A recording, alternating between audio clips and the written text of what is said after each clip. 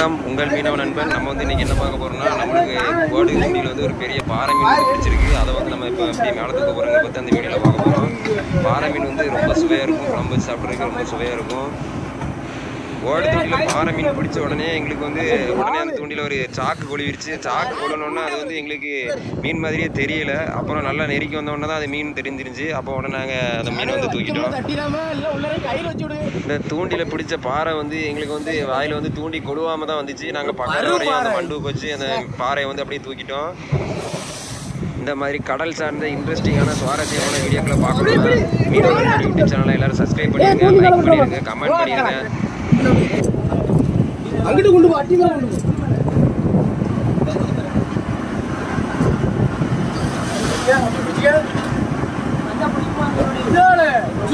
கோழி புண்ட கோழுவே சும்மா என்ன பண்றது